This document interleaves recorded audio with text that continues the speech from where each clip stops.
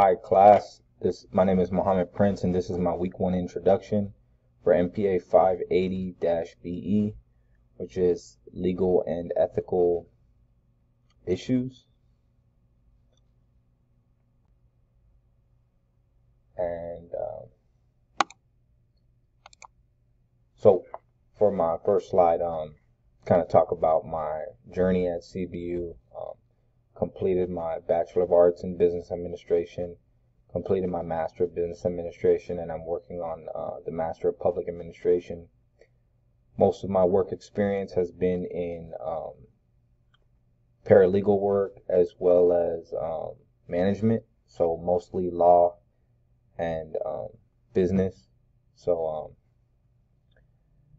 those are my two uh, real professional interests.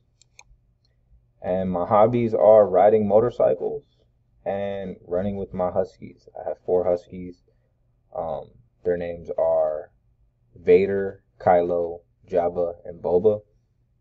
So um, those are my two biggest hobbies um, that I like to do with my free time. And I uh, just want to say thanks for viewing my week one introduction, and I look forward to interacting with you all um, in the discussion board postings, and just good luck in the course.